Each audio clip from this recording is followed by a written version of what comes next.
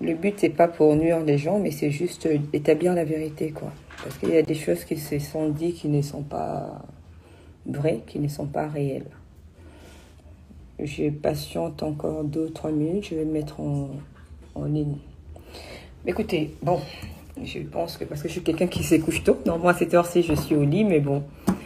Je me présente, je m'appelle Nikki Minga, euh, je suis... Euh, la maman de Keina et Kelia Ipupa que vous connaissez certainement. J'ai deux enfants avec un monsieur Fali. Euh, voilà, je me suis présentée. et du coup, euh, je voulais juste vous dire, euh, raconter mon histoire. Hein. J'ai connu le père de mes enfants, j'avais 16 ans.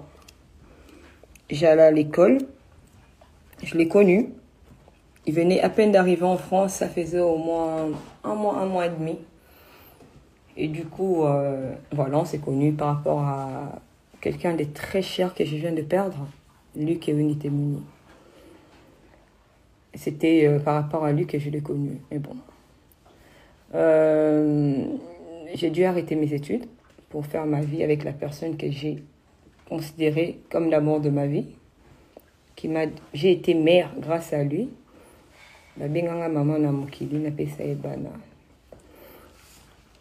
omoni ndenge nga navandi boye euh, si je me permets de vous parler c'est par rapport à ce qui s'est passé aujourd'hui ce qui s'est passé aujourd'hui sur les réseaux sociaux, sur le, par rapport à ce que la tata de mes enfants, la grande sœur de Fali, Tinaï euh, Tina qui est avec l'équipe émission Moko, euh, je ne sais pas comment ça s'appelle déjà, de Marie, sur Facebook, je connais pas parce que je n'ai pas Facebook déjà personnellement. Tout ce que vous voyez sur Facebook, c'est pas moi. Euh, en m'insultant.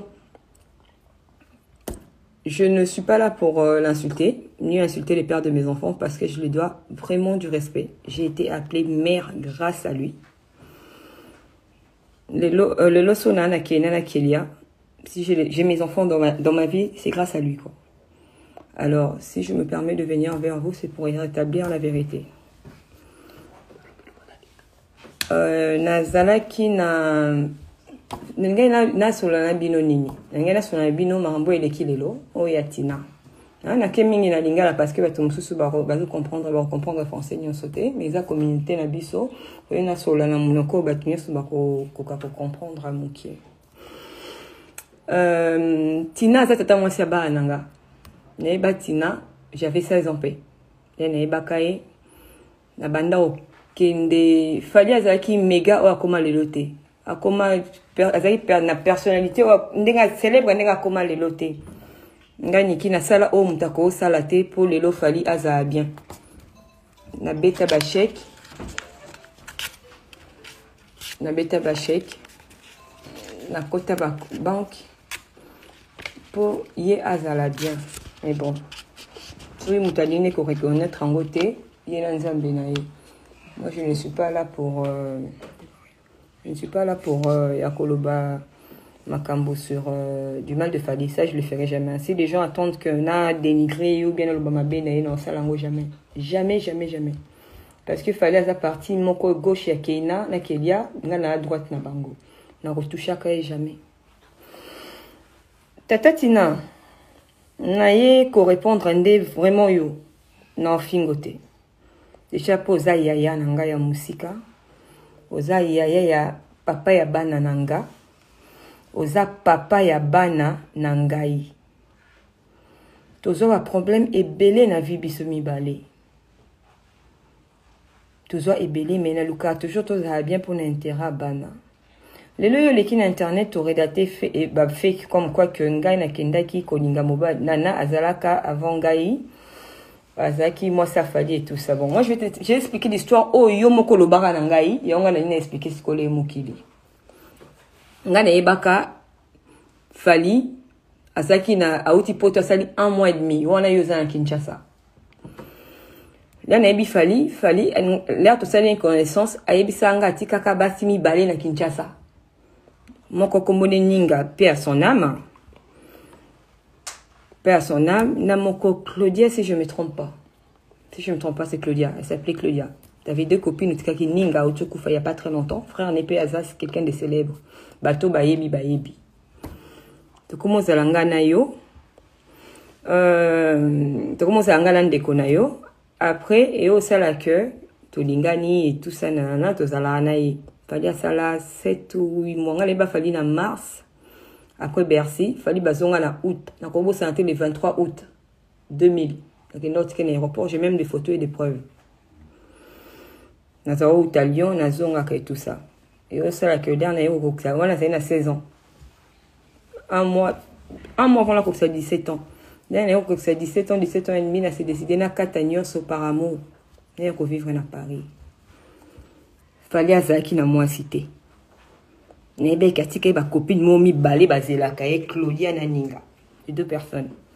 oyo bolobi lelo boye ke mobali so ndeni wana vraiment nayebi te ngai naoloba makambo oyo oloba na ngai oyo keleki nombo mpe akonfirmela ngai yango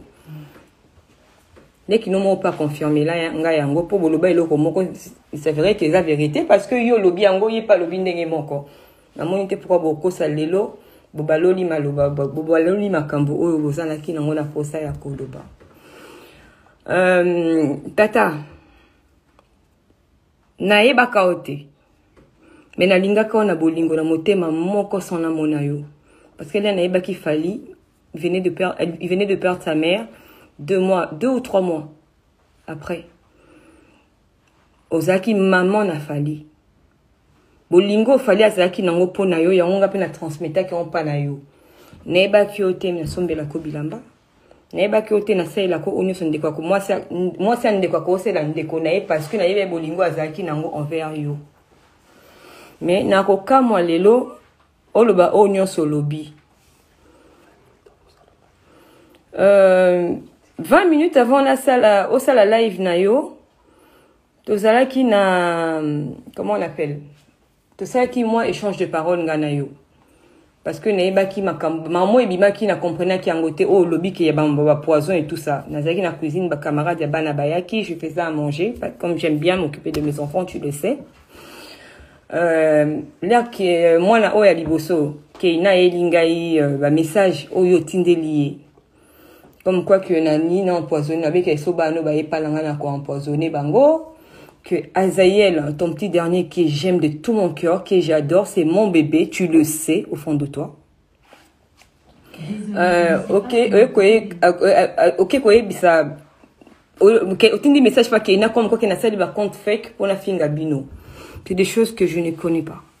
tout ce qui est réseaux sociaux et c'est pas mon truc eya makambo na nga te nazala na facebook te nazala na snapchat te nazalaka kaka na instagram apart wana nazala eloo mosusu te euh, nabengaki yo natindelaki yo voice ya mabe c'est vrai toswanaki makasi natindeli yo ya mabe yo mpo otindeli ngai ya mabe toswana ye makasi mais après lia naye kozwa mwana na yo ya mwasi ya liboso na oyo ya ngai ya mokolo bavandisi ngai babi wana abi na ngai tantine bolingi botya biso wapi keina abi na nga maman bolingi kotia biso wapi parce que bomoni nde tozalaka unis makambo oyo bino booluka ezoluka mpo biso tokabwana tozala lisusu te alors to, bo arrete yango conseil oyo bana bapesa ye ngai mpo nayokaa bana mingi ya nazalaka mwa camarade ya bana nasolaka na bana nayebisi bana ke naye kobenga yo natindeli yo voice namoni obloke ngai nazwi telefone ya camarade ya mwana na ngai moko azala keina azalaki ya mwana ambassadeur ya sénégal azalaki na ndako na enregistre numero na yo natindeli yo voice mpo nasengo pardon nayesi oza papa bana na nga oyebi nga sona na kanda na s'emportaka uh, limbisa nga mais à aucun moment aucun jour nga niki nakoki vraiment okoki okanisela nga ke nasali compte fake mpo nafinga euh, bana na yo ah tata papa baa na ngai tata mwasi abaa na nga nakoki vraiment kokóma na niveau te ke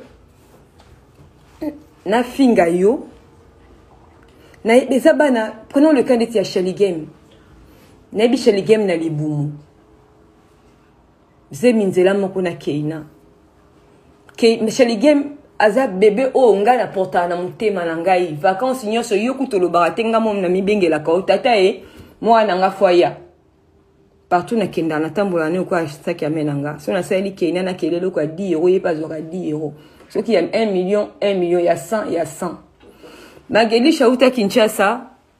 au début nayebaka ye te mais lia naye koyebana na ye nalinga ye na motema moko mpo ye nde aza yaya ya baipupa ndenge papa aboti yo na mama na papa baboti yo na fali mwana ya liboso nalinga ye mpo na ndenge bolingo alakisaka bandeko na ye na ndenge mpe nalingelaka yo mama na ndenge mpe nalingaka bana na ye yango nakoma kolinga nalingaka bana na yo nyonso tu sais azael ti mon chouchou aujourd'hui j'apprends comme quoi que nakenda nakoma nasali bacompte fake mpo nafinga bana ce qui est archifaux oh, nasala nafinga bana mpo ce qui est faux nasala nasala nazwi na comment on appelle nasala euh, na, na traite bana nayebi ke bana so mpo baye epa na nga na koempoisonne bango ce qui est eza archifaux eza so na ye biso archifaux ya archifaux Comment bana bayaka pa na nga chaque année na empoisonna bango te. Lelo na empoisonné bango. Pourquoi bana oyo ya nga bayaka pa na yo? Natikala kokanisa mabe te. Nakoma na niveau ke nalobaki na empoisonné bana tata. Mai miso etangi nga lelo naleli nayoki pasi. Nga no tokoswana mpo tobanda na biso lelo koswana te. Mais soki okomi na, touche, na point ya kotouche bana nayebi te lelo lobi ke mwasi ya fali ayaki j'ai aucun problème avec elle hein? aza mwasi ya fali ngai naza mama bana fali naza mwasi ya fali te je suis la mère de ses enfants parce que avandaka na fille wana lelo okomi na niveau ya koloba ke eh, mwasi oyo abongi na fali naye kocomprendre niki amanipule ye biso mwana ye kocomprendre ke lelo eza euh, l'autre euh, tata obosana na mbangu eh? mm. bana na nga niki il y a même pas un mois même pas deux mois pardon tu m'as dit que bana nga bakoki kokende jamais yo kokanga lisu no na ndako ya fali jamais bana na nga bakosangana na bana bakokende na ndako ya nana parce que nana aza capable ya kosala bango mabe parce que nana aza capable ya koboma bango kodétruire bango obosani yango mama na ngai hein? vraiment obosani tozonga nao bato ko yaya nayebi te loni ezoleka na kati ya motuna na motema na yo oyebi ngai bien tu m'as connu j'avais 16 ans et là je vais dans mes 40 ans j'ai même pas 40 ans hein. nakokisa 38 ans na mois de septembre oyeba nga j'avais 16 ans natikala jamais naa na badefaut na baqualité niki aza moto ya liboma niki soki asiliki asicontrolaka te niki soki asiliki apetaka le plan ça tout le monde le sait nde olobi ke nalanda fali na bahotel na bambeli na banini et tout ça oui mwana kutu nakota na nini wana te parce que ezalaki makambo ya ngai na ye na bana na biso c'est une vie, famille, vie familiale privée ya biso ngai na ye mais yo obimi olobi yango na internet c'est dommage mais lelo nga na oyebi so kaka phrase moko nga na problème na yo te o oh, lelo lero omoni lelo lero nde osala live na yo nga nayebi ete ke osala live bato bayelei nga yango bana nga nazali na cuisine na olia mpo nazala na facebook te Nayoki live ma ya miso ekiti nga. Ma ya miso ekiti nga nayoki pasi na motema, pasi oyo nao nayoka te. Na makambo oyo nyonso obimisi. olobi lelo ke euh, euh, nalinga te ke oyebisa kelia makambo oyo ndenge ye abotama tata moi j'ai eu mes enfants j'ai pas eu mes enfants hors mariage hein. Peut-être Keina hors mariage parce que j'étais encore, euh, j'ai eu Keina trois mois avant mes 19 ans. Je l'ai eu au mois de juin. Nga 19 ans, on a en septembre. Après un an et demi après, tu eu ça à mariage. Mais Keina la beauté un mariage. La beauté Keina ma kangoute. Oh, que lobi Kenga niki na ndo bima. nazonga ndako ba 2 heures du matin mwasi nini ya libala ozonga 2 heures du matin ovanda na mwana na mobali mpo oza na mwana bebe na kamuluba eh, nde bomonaka ngai awa naza papa na ngai mosonge mama na ngai moluba kananga makambo ya babasi ya, miba, ya kotrompe mibali mpa na biso existaka te mpa na biso existaka te alors nalingi na éclaircir boye boyokanga bien lere nakomi na zemi tozalaki na fali fali ake kinshasa le 28 juillet 2004, 2005, ah non, 2004, pardon. Je devais avoir mes règles le 1er août 2005, je les ai pas eues. Nazu ba règle nanga été. Naye ko benga fali bazaki na Gabon. Pays moko Afrique, Gabon et tout ça bakendeki ba auto okende. Mkolo okuta zozo avion pour kende aéroport. Tozali na problème te tondo vanda na 34 quai de Dion bouton 92 800 plutôt. na nkombo na, na boîte aux lettres ezalaki monsieur et madame ipupa parce qu'on était marié à la mairie de puto bokoki ese renseigner nayoka lokuta wana eza te moto ayaka ozwa mpo na okende aéroport il y avait c'est un, un petit ato ozalaka ne mpe souvent je suis pas là à citer le nom pour ne pas créer des polémiques hein, qui ne sert à rien euh, okende aéroport ya, ya ngai no toza na problème te mwana ngai nayebi teke na zemi keina kutu na se abandi kolela na po imebele na biso ezalaki na escalator keina azolela na se papa et tout ça nana et moi aussi je pleurais nazalaki so fallait à voyager na kokaka kovanda na ndako te sho ali chez mes parents à lyon mpo na ndongo omoni partout mpo na mesana ye na ye parce que fali azalaki camarade na nga meilleur ami na nga confident na nga eyo osalaka na ye okende lyon fallait na régler le 1er août 2004 na régler te na bengi yo te na bengi yo te yo moto obengi parce que on doit benga nga tous les jours na tongo so olamuki obenga nga na avant répétition obenga nga na 22h30 après répétition trois fois par jour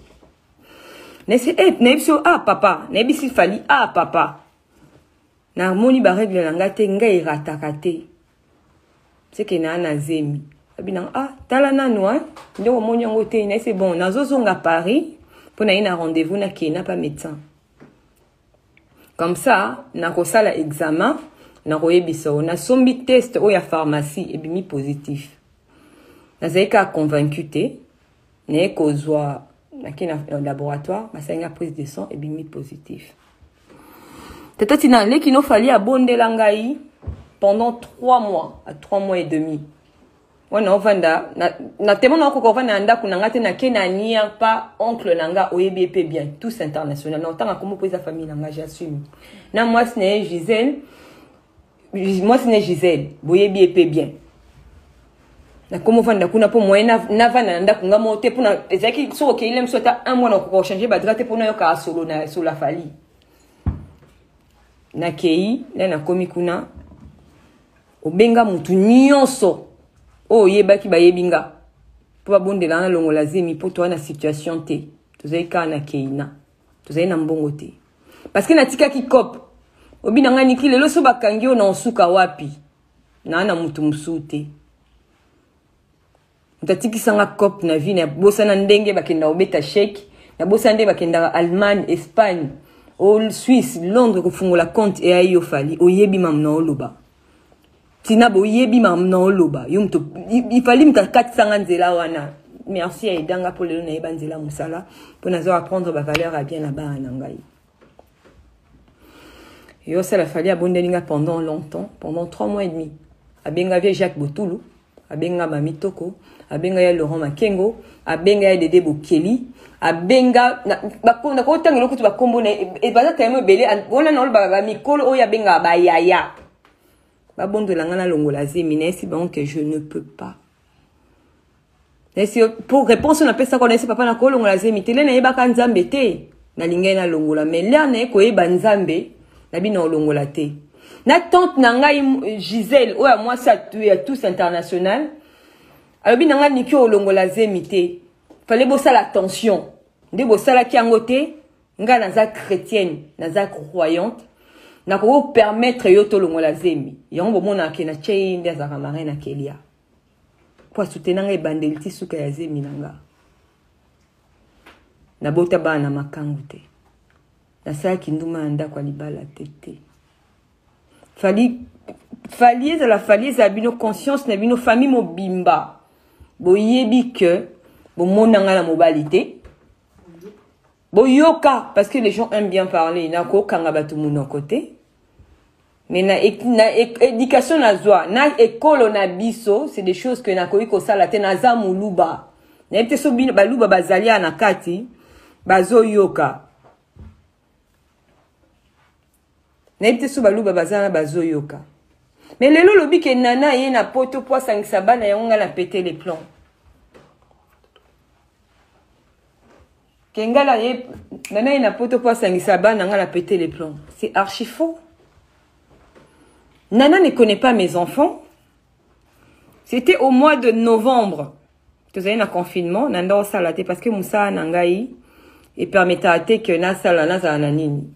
na mosala na ngai sikoyo esalaka telefone ya keina esona j'étais dans ma chambre keina elanga telefone abi na ngai maman marco il est à kinshasa alobi ke maman aza na besoin asololana na yo parce que nga alinga bana nga makola basala bandeko ne demande batuna yanga eloko nyonso basalaka maman ma, mako asali biso demande nayesi bango boyamba c'est votre frère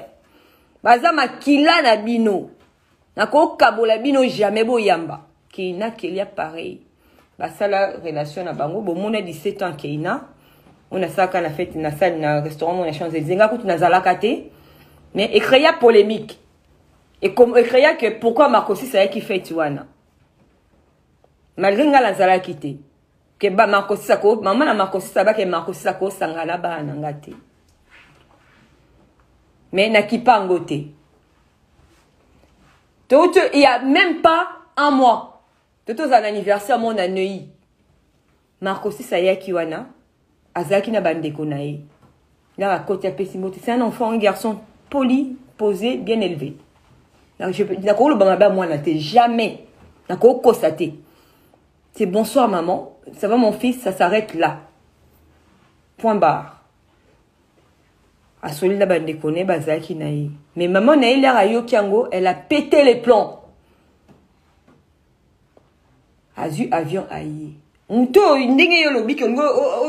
osala olakisa ke ayaki mpo asangisa bana akoki osilika te parce que tozalaki fete moko na mwana na ye ngai namonaki yango normal ngai kende na kende babima ere mo bayesinga toke cinema toke cinema na marco ok ata naa na mosala bozolanda bozolanda nayebi te so bozolanda nga mamu nazoloba peut-être makambo mosusu na kobosana parce que eza histoire moko euh, un peu un peu long mais nazala na omeka nazala un peu bref euh, na mois de novembre téléphone na nga esona ya kene esona nga nazalaka na chambre na nga Là, nazalaki na chambre, hein, Kenya Elinga, abi nanga maman, non kaka abi bon, je te rappelle, je suis en train de faire un truc. Effectivement, ando sala ba cours non en ligne. Abi nanga maman Marco m'a appelé pour ebisanga que maman bango a besoin de sola nanga. Na tuni Keina, otuni papa parce que nga sala jamais ni kamba ba nanga sans que papa na bango ayeba, jamais. Pour la pour la mbala liboso, pour nana azwa Keina une fois na vie. abi na nga je l'envoie un message mais aza na avion nayesi ke na envoie quand même na business class wifi ezalaka entre temps nga niki tina nazwa telefone nabenga yo nayebengi yo ah pap, eh, tata eh, yo oza fali ya mwasi so fali aza te yo moto kodeside na place ya bana tala telefone na yo tiosone marco abengi alobi mama na bango aza na mposa sola na keina nasala nini olobi na ngai niki makambo ofo esila bana ba bana ya mutu moko fo bana basangana na moment tozosola na yo fali arépondre keina bauti obenga o camp keina répondre papa na bango na message na whatsapp abi maintenant atuni ye maintenant ayebisi keina ok yoka bango oyebisa nga makambo nini akoloba en parlant de sa femme keina aye ko naye kozwa nayebisi tina kokata te zala na line oyoka makambo eleka mpo naboyi interpretation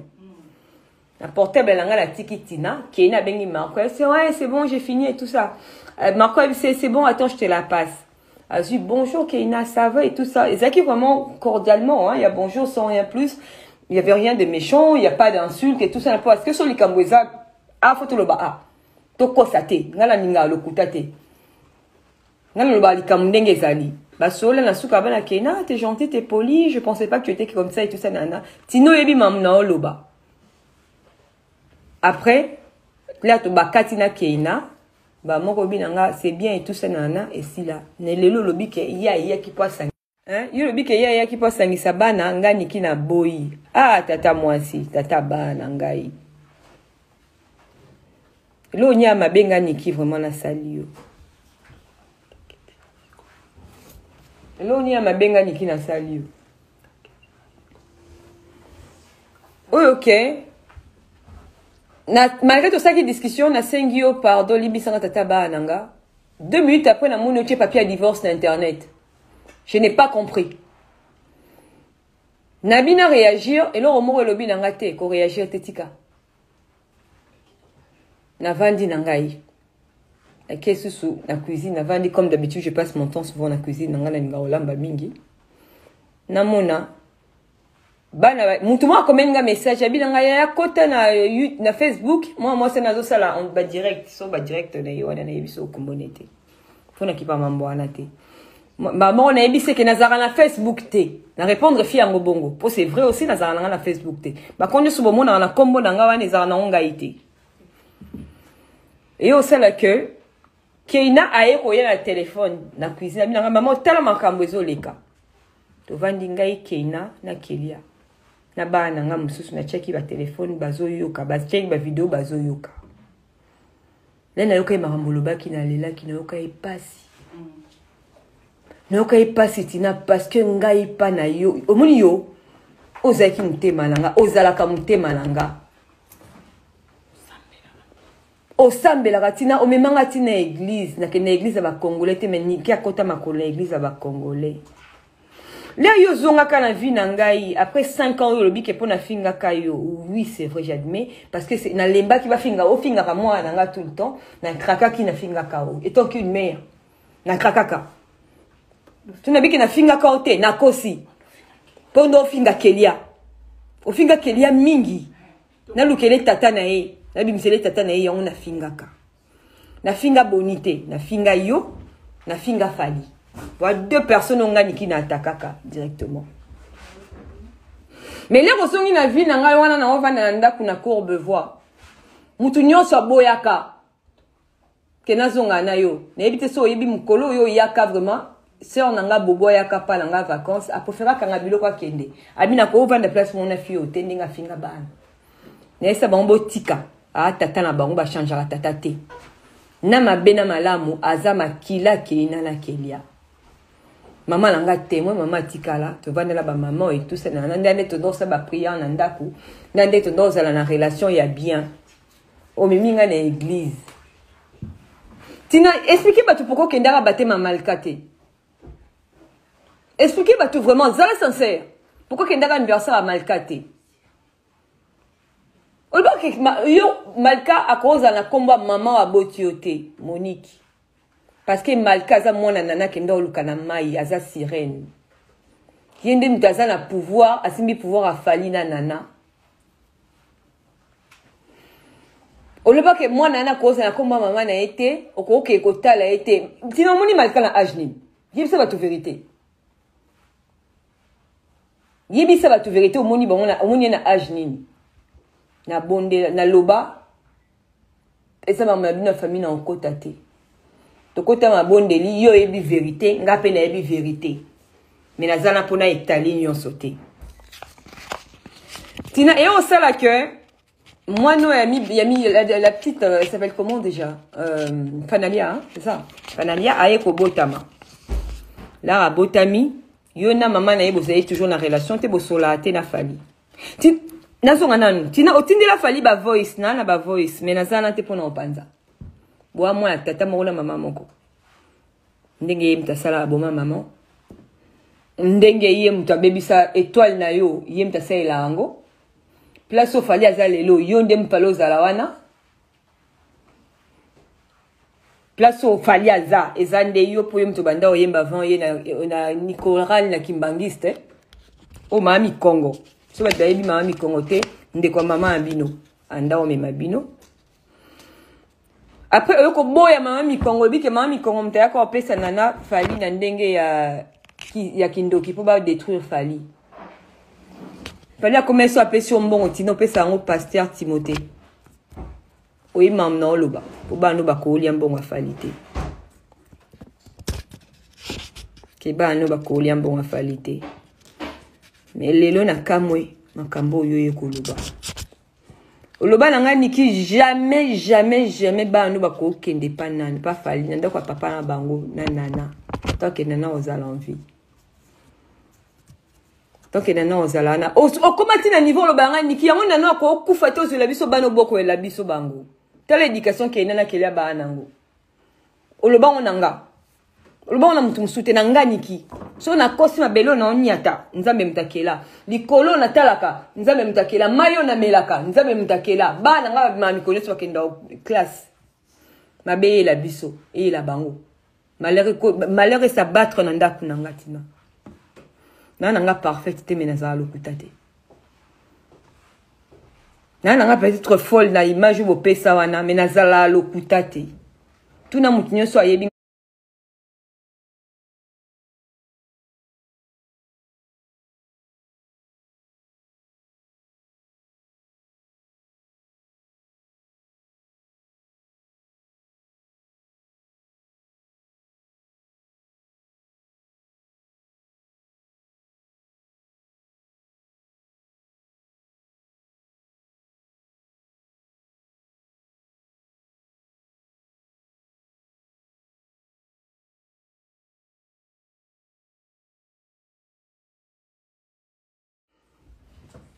parce que nalobaka sans raison te eninga yo partout ndumba mwasi awi lolongomba mwasi ya boye na boye oke okay, kuna osimbisi nani decos touche camarade na ye moko ya avocat na kini kuna okomobima na ye soki ya journaliste bato na bino ya bakinshasa na babimisa makambo ebele ngai nabundela yo bitumba na bi jamais na soutenir yo na ba moment difficile oyo nyonso ya mpasi na vie na yo natalaka mabe te natalaka nyonso wana te mpo na yo oloba na nga ke marcosis et tout ça nana baexistaka pa na yo te mpo papa na bango na mama na bango bavandisaka bango balobaka na bango ke bazala na tata mwasi te mais lelo baza bazongi bien nga kuna osepela bozala na relation bien parce que baza bana na yo parce que nga nazala moto moko nalingaka unité nalingaka bazala ya kosangana nalingaka division te je n'aime pas je ne suis pas comme ça euh, elo omona kooloba kaka mama banga nzambe tambola na kobanga nzambe mpo osambelaka nayebi oza mwasi ya mabondeli melia nayoki makambo olobi lelo ti sikoyo naza choke me miso ekiti nga mpo na ndima eteke yo moto okobimisa makambo ya lokuta bongo ozokosa lei nu me miso ekiti nga navandi na cuisine me miso ekiti telefone na nga ezosone monde bato bazobengaka monde entier naoboya na koyamba mpo nalingi kolakisa bato émotion na ngai te bana na nga baleli mpo nayokaki yango na bana bana na ngai baleli ntina lelo so fali afuteli kende na kelia ndako parceke aboti bango te ntina nabotana na importe ki te fali aza moto apasi te fali aza na devoir mpe droit obligation na miso ya nzambe asalisa bana na ye so baa na pasi ye asalaka part na ye nga mpe nasalaka part na nga mais biso ba mama lemsu mpe tosala toujours eleka ebele oyo oh, papa azalaka te fali so asombi lelo saki olobi oyebi bana nga bamaterialiste te pala nga ezala mama materiel te mpo oyebi na saki naza na elamba naza na chaussure naza na nyonso naza na bijou naza je suis une battante je suis une guerrière tu le sais nabunda toujours na vie na ngai mpo nazanga eloo te nabunda toujours mpo kende na kelia bazanga eloo te so bayebisi ngai lelo mama on veut ça so nakoki te loyebisa bango bozela kende na kelia basket balataka ya pamba ezalaka moins de 800 euro te oyebi elamba kende na kelia balata loba bakota na badelire na bango bana bakoto ya bazara banini mais manto ya pamba oyo balataka bakendaka na classe ezalaka moins de 1500 euro te na mutu eza te ke rolex mofali fali asombaki ezalaki esengo mpo mwana akokisaki 18 ans mpe rolex euh, esaki mpe esengo mwana ye azwi bac avec mention malgré classe ezalaki te mais azotanga na ndako meme nga mona publiaka yango te parce que nazalaki fier na ye nayebi papa ya solo fali akipa bane très bien afutaka classe ya chier mpo na keina keya ya biju ya quartier oyo ya saki oyo ya nini baa na yango bango nyonso papa ya bango asalaka papa na bango akipaka bango nga mpe napesaka pension alimentaire apesaka pension alimentaire apesaka kipa bana ye akakuna besoin moto araple ye te aloba na ye ke fali ye salisa bana fali ye liesa bana alors euh, c'est dommage tout ce que je pourrais te dire mama eyebi nzambe bongola motema bongola motema moto oyo nyonso ayebi nga nde nalobaka mambo afali na basi le meilleur papa du monde oyo bana na nga bazala so banere na bango emati batuni nga so baswani eh, akomaka ton ex mais maman ton ex ne sait pas dire non mpo akipaka bango très bien mais zala na motema kibo mama mama asangisaka mama apanzaka te yo nde tata mpe mama afali eza teke lelo mpo ozo ngai na nana ofinga ngai ntina lere oyo fanali abelaki na bruxelles azali na soins intensif obenga nga navanda na mama na biso na salon na nga obina nga ah shiro auti obenga nga natangi natangi nkombo shiro chamala auti obenga nga alobi ke nana aza na hôpital na mwana awa ezosala propre te ke yo oza na belgique oke tala mwana te obenga nga nayebi so ah tata ngai nakopekisa yo te mpo loba na ngai ke nazobangala makambo nyonso maloba mabe ebimaki kuna ekoma ke nakende otala mwana mwana azwa problème eya olata nga réponse oyo ngai niki napesa yo ezala ke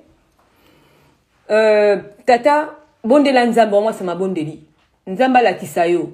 soki okokende ezala na volonté ya nzambe kosala likambo na volonté na yo te me yeba ke mwana wana aza mwana na yo okilobi nango na ntongo bokenda na mwana ya liboso na yaya magelish botala mwana lere ozongi mpe na butu oyebisi ngai nakenda otala mwana namemi mwana nani nalobi na mwana maloba na ntongo mwana alamuki bien kimi ekota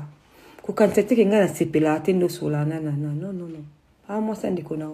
aza mama bana